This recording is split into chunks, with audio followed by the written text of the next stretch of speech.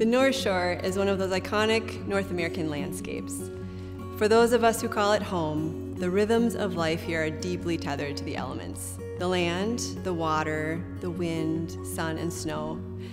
And while life in general gets us bustling around from point A to point B, the North Shore has a way of slowing us down. Whether it be the sunlight on the Sawtooth Mountain Ridge, the sound of waves on Lake Superior, or the sweet smell you can only know by walking through the boreal forests, the North Shore calls us to explore. Since 1947, the Grand Marais Art Colony has made its home in this borderland, edged in by the Boundary Waters Canoe Area Wilderness on one side and Lake Superior on the other. Our founder, painter, and art instructor, Birney Quick, loved Cook County, fly fishing, and painting outdoors. He and fellow artist Byron Bradley teamed up, with the support of the Minneapolis College of Art and Design, to establish a colony reminiscent of the art colonies that had sprung up in Europe in the late 1800s and on the East Coast at the beginning of the 20th century. Students traveled from hectic urban centers to arrive in Grand Marais and allow the landscape to reset their pace. Ever since, people have made the pilgrimage to Grand Marais and to the art colony. Their time in this landscape in our studios and under the guidance of skilled art instructors shapes their creative questions, it expands their view of the world, and it gives them that space and time they need to make art. So, what does this time look like? What do you do while you're at the art colony?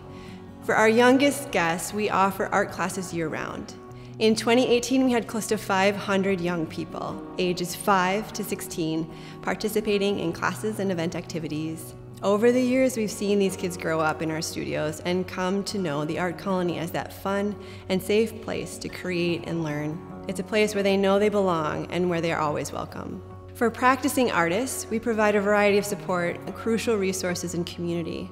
Support comes through professional practice workshops that are designed to address the career side of art, such as methods of record keeping, how to share your work on social media, and how to develop a portfolio. One of the most valued resources we provide to artists is residencies and studio access. Artists in residence receive two weeks of uninterrupted time to dive deep into their work and invest in that next best thing. Our pottery studio, glass studio, and printmaking studio, which happens to be one of the earliest established eco-friendly professional print studios in the Midwest, are all available 24 hours a day, year-round for member artists to use. Many of our studio artists rent continually and consider this space their home studio, producing most, if not all, of their work at the Art Colony in a communal setting alongside other artists. We provide this support, access, and community because we understand that this career path is not as straight or as easy as many others. We want to provide artists with those resources that will help move them to the next step. Whether you are just starting to dip your toes into creativity, you have a latent artistic interest, or you simply love galleries, museums, and the work of artists, you can find your artistic community here. Take a foundational class meant for true beginners and see where it takes you. Sit in on a free artist talk or demonstration, or participate in a book group. Throughout the year, we host several special exhibitions, including curated and solo shows. Our gallery store is one of my favorite places to get lost in. We carry unique regional art created by our studio artists, by members, nationally known instructors, as well as work by featured artists. With artists coming to the North Shore, the town of Grand Marais and the Art Colony have grown together.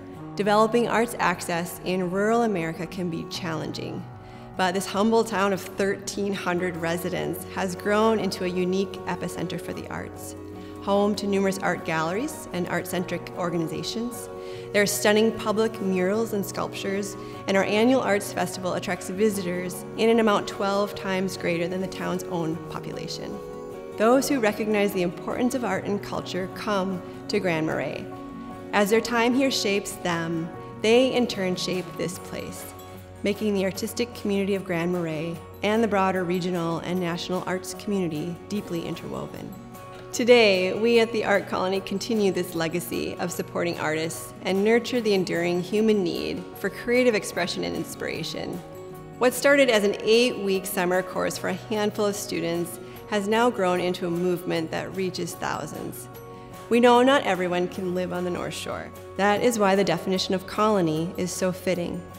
People from across the nation, as well as those who live right next door, consider us a creative home and a place where they will find surprising new ways to think about life and art, and they will be shaped by this beautiful and dynamic landscape. We foster a resilient community by honoring diverse narratives and ideas, by honoring that space and time that is so vital for art making. This is what we do every day, year round, and what we have done since 1947. And so we invite you to come in and help shape the art colony. Whether you are traveling across the street or across hundreds of miles, come and find your artistic home at the Grand Marais Art Colony.